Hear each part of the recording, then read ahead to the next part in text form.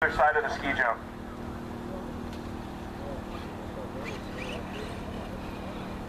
Carl, you're behind Randy.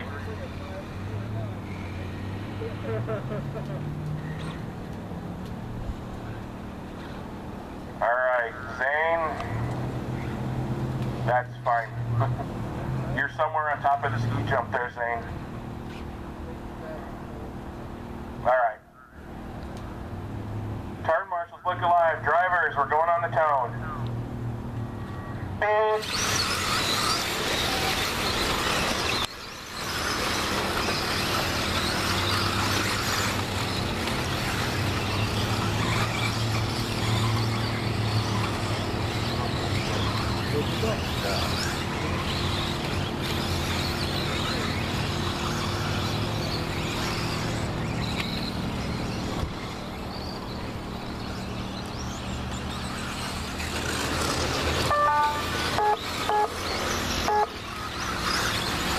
All right, it looks like Rico Suave is out to the lead, followed by Matt and Randy.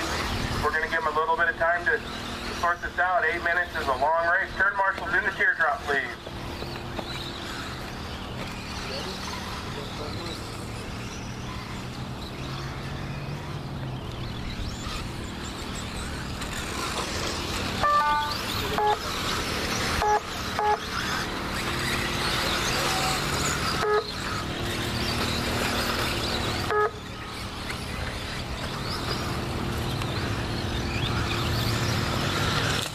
Sean, I would prefer not to see you do that again.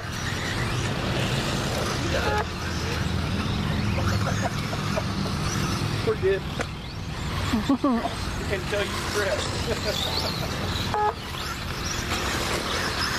we'll go back first.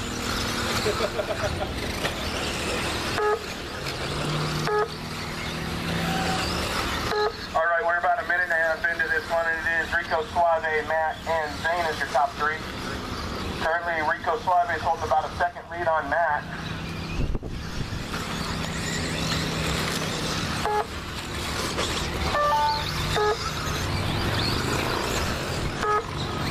The irony of this thing is that the top three cars, you actually have three different cars, all from the same manufacturer. Hernando in the red and white car is running a B4.1 World car. Matt, who just rolled over in the uh, yellow and blue car, is a B5 rear motor car. Zane in the purple car just behind Matt is a B5M, which is a mid-motor car. So your top three positions, three cars from the same manufacturer, all different cars. That doesn't happen very often.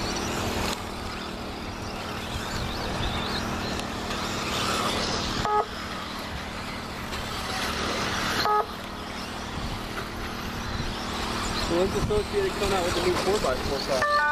I don't know. They didn't even put one in the AMA at the world. But Yokomo had a prototype car out. I Moxie only put one in the um, the X-ray car that part. Uh, I heard there was some upgrades for the 44, but I haven't heard anything on the chassis. Everybody's falling for it now.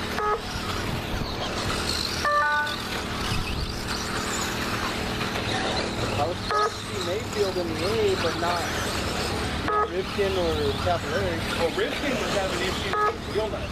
Uh, He had wheel coming off and they're running. And it says left wheel. I mean, they changed the hexes up front. They kept changing stuff they couldn't. It was just doing stuff. Because after the curve, the heavy acceleration of the left braking and the left wheel kept it comes ready. I want to put some red Loctite on that.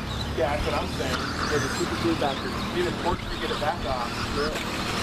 But even Cavalieri never put together a solid ride. It was supposed to be Spencer Windmill. You know, he's the first world champ from Arizona. I, I think so. I Maifield never won one. Maifield never won in this one? He's won nationals, not world. All right, guys, we've got about 340 left to run in this one. It is still Rico Suave up front, followed by Matt and Zane. So our top three hasn't changed.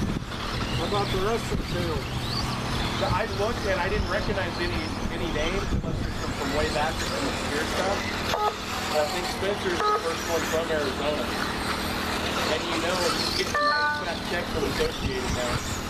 Oh. He started out grassroots with Associated, didn't he? Do what? He was a grassroots racer with Associated, Well, I don't know where he was at. I, know he was travel team. I don't know if he was paid. Um, he'll be paid now. Yeah, he'll be paid now. he? Win extra race? Yeah. Yeah, he beat Cavalieri and all of those guys. Yeah, it was really good stuff.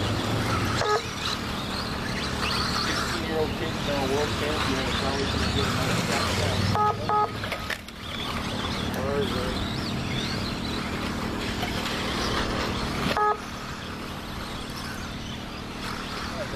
All right, guys, we got about two and a half minutes left to drive. It is still Hernando, Matt, and Zane as your top three.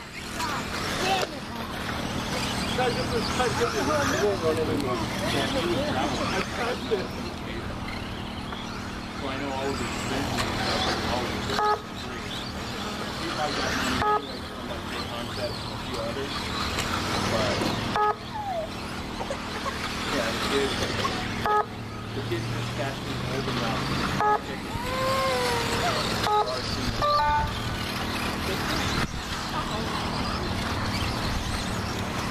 All right, guys, we got just under two minutes left to drive. It is still Hernando, uh, Matt, and Zane.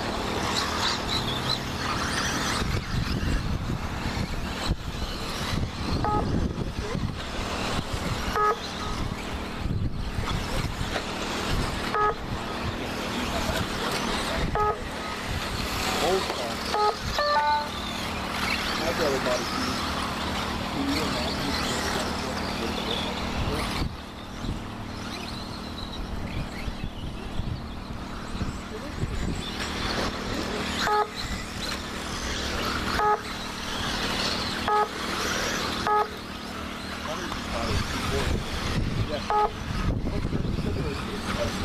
It's, uh, it's pretty quickly.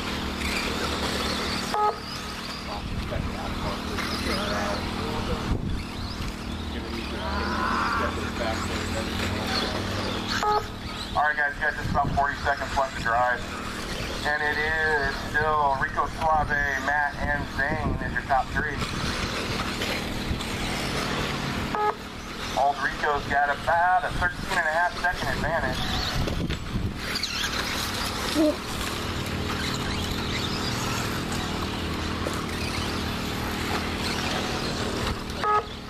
This is the perfect example again for you folks who think you gotta have the uh, top flight of everything to run.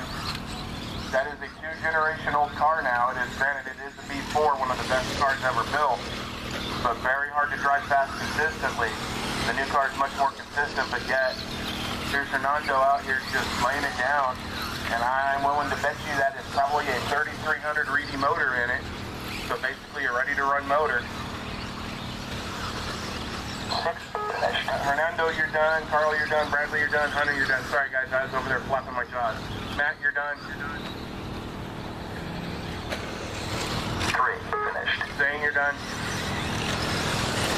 Eight finished. Derek Hunter, you're done. Just waiting on Randy. Hold it. You pulled it? Last just now or? Yeah.